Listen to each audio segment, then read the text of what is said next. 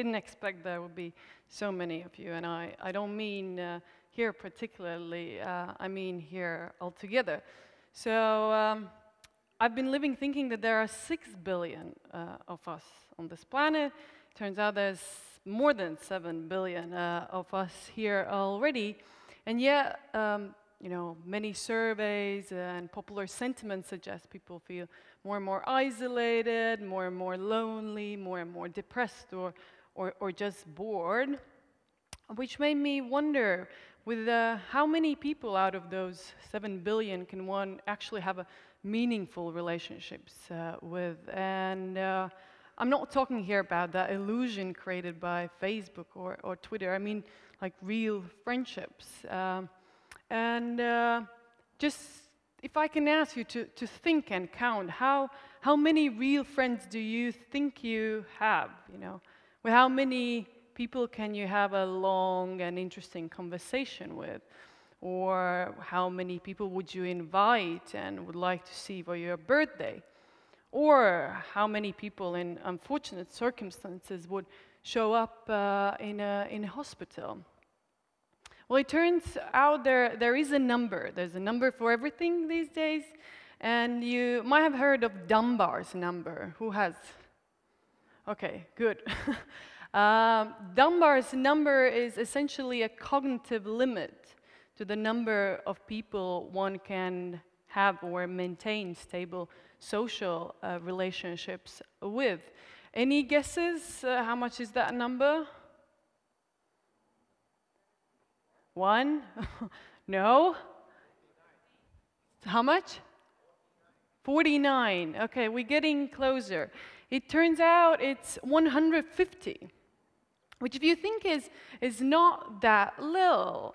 So if previously when you were counting your friends and people you, you like to, to, to talk with, uh, if you counted more like 49 or, or 60, even if you got it up to, to 100, you can see that there's still quite some space or room for enlargement, so to say, of, uh, of mind and heart in respect to, to other people, uh, which leads me to next question. So how do you establish and maintain meaningful uh, relationship? Uh, it seems that it doesn't happen in these uh, business card swapping and bar hopping uh, occasions. Uh, it seems that relationships, at least meaningful or serious relationships, are grounded in meaningful experiences. And um, let me explain you what, what I think uh, are these ways or what are these experiences that, that, that bonds us.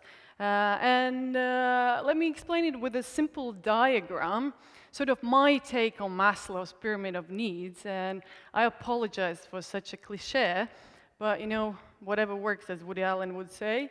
And um, what we have at the bottom of that pyramid, uh, I would say, are random social gatherings. So you can get to know people, people in public spaces, you know, bars, nightclubs, or, or events. Um, usually in those uh, circumstances, considerable amount of alcohol is, in, uh, in, is used, and not without a reason, because you, you might have noticed with every next drink, you become you know, more sociable, and people become more interesting, and you can certainly form at least some type of relationships. Uh, uh, that way, but you might have also noticed that these are not the most lasting relationships. So I, I wouldn't suggest you stay on this uh, biological, so to say, um, level.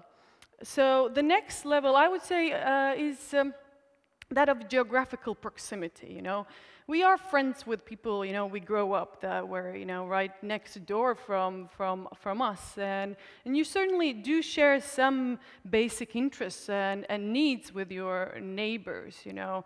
Um, you don't want to be robbed, or you might need to share some home appliance once, once in a, while. And of course, less and, and less so. Uh, but at least the option of becoming friends with your neighbors is always there, it's physically available. But again, as I told, less and less so these days. So first level, strangers in bar. Second level, neighbors. Third level, of course, family. And uh, this is actually, these are actually people you can rely on who will show up uh, most likely in that hospital. And of course, you inherit a certain group of people, and then you add a few more, but then altogether there is a rather narrow group of, of people, unless you know you're working hard on, on number of, of children uh, or, or something like that. Uh, so we move to the next level, and this is the level I would say majority of our friendships kind of form, and uh, this is the level where actually our interest, uh, you know, brings us together. So hopefully you study what you're interested in, hopefully in a university you, you liked, uh, hopefully you ended up working uh, in the field that you're interested in. And this is actually the level that, you know, you can spend days and nights talking about subjects that nobody else seems to care about, this is uh, when you, you know, you're bound to run into shared troubles or find out something where you create something new and it's all great. And altogether, I would say that uh, for many people, uh, it's perfectly enough with uh, people and uh, their friends from, from combination of these uh, levels. It's perfectly enough with family, uh, it's perfectly enough with your work colleagues. But uh, I think if you're sitting here, or if you're watching uh, this talk online, there's something left wanting. You, you know, you want to find out something new. You want to meet other people or get to know them at least online-wise, uh, what they what they are thinking uh, about. And this is the level that gathers people, irrespectively of their professional social background that gathers them to work together on an idea or cause or purpose. And uh, of course, that is the level of uh, NGOs and it's a level of non-profits or charities, as they are called in uh, in US. And I can uh, kind of I, I, can imagine what you're thinking, and um, and I know that non-profits are not associated with the most effective organizations. You know, they are these hippie-like esoteric formations with uh, obscure and unrealistic aims, but uh, it doesn't have to be that way. And of course, they are such non-profits the same way they are such businesses and such government institutions. But in reality, some of the worst, uh, some of the best uh, uh, non-profits or organizations altogether, some of the best initiatives comes exactly from NGOs. And just to name few, and of course it is specific to uh, kind of American tradition more of civic uh, engagement and philanthropy, but, but still, you know, Metropolitan Opera is an NGO, you know, Oxfam is an NGO, UNICEF is an NGO, Wikipedia is an NGO. Here in Latvia, Ziedot LV is an NGO, um, Fonds is an NGO, um, Iespējamā is an NGO, and even TED, TED Talks and TEDx Riga is an NGO. So what we see is, is people coming together to do something that stands outside their direct well-being, their family circle, or their money-generating uh, ideas. And it all looks so big and remote when you look at those big logos uh, on the screen. But let me tell you my story and my, about my involvement in NGOs to show how possible or how all of you could be involved uh, on top of your family, your studies, and in work uh, in NGO sector. So I think as long as I remember myself, uh, I've been involved um, in NGO sector in one way or the other one. I think quite typical to a Latvian, you start with a choir, and then you go to a student organization, best times, and then hopefully you end up with an NGO that, that you know, attracts or is of your direct interest. Uh, uh, my interest lies in, in, in arts, so Five years ago, together with like-minded people, I uh, founded a contemporary art uh, center, KIM, here in, uh, in Riga, and they've been the most wonderful uh, five uh, years. We've organized um, more than 90 exhibitions. We have uh, more than 100 educational activities, talks and lectures, and we publish artist catalogs and and translations, and we've represented our artists in, um, you know, Shanghai, Berlin, New York, Malmo, and, uh, and just recently, actually last week, we uh, came back from Venice Biennale where we had an honor to represent um, Latvia in what is known as kind of Olympics of, of, uh, of arts. And uh, in everywhere we would uh, go and, uh, you know, whatever we would do, we would uh, meet the, the most wonderful, the most passionate uh, people. So that is my story, but I'm absolutely sure that every single one of you cares about something or is interested in, in something or whatever that is, you know, whether that's fighting stupidity or, or fighting against corruption or, you know, supporting education or supporting arts and, and culture, museums, libraries, you know, fighting for LGBT rights or, or, or any other topic. There's so much you can do, and I think you should really do that because that's what essentially bonds us um, together.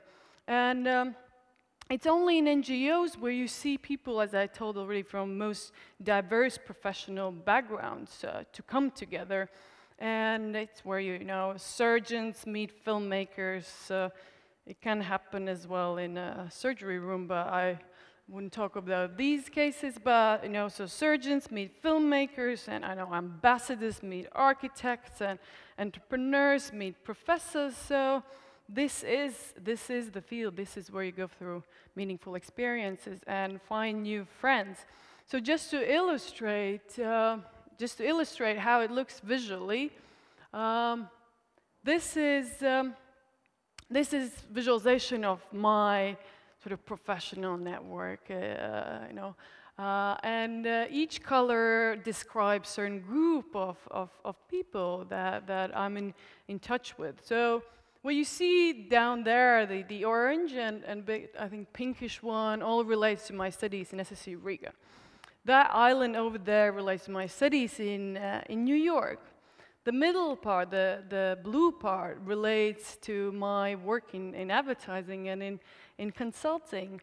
But then that green part and all these satellites uh, around relates to my involvement in NGO sector. So see what you know your social ties uh, look like and, and see how, how diverse they are. And that refers to um, professional background, but same refers to geography. I already mentioned a few cities that we are actively uh, working with, but there are so many more that, that we um, could and, and will be working with. So again, just to illustrate my point, uh, here is a snapshot from Google Analytics that, um, that shows the geography of, of visitors to the webpage of my institution, and it's really not a webpage uh, on which you can bump on. It's not advertised, you really have to look for it. So people who have found it have some interest in the same things that I'm interested in. And uh, uh, yes, as you can see, it covers almost all world. Uh, I know I think we have to work on Greenland, but, but apart from that, it, it does cover all the, all the world. So I guess what I'm trying to say is, contrary to a popular belief, uh, NGOs are, are not just about giving, they are as much about, um, about getting back or receiving. And um, I started with a, with a number, and, uh, and let me finish with, with this number. Think of, uh, of us like 7 billion uh, people, like molecules, like running around, what you, I think, don't want, you know, as, as Bertrand Russell would say, is to be like a hard, separate entity, but like a billiard ball that has that can have no other relationship with other such entity except that of collision.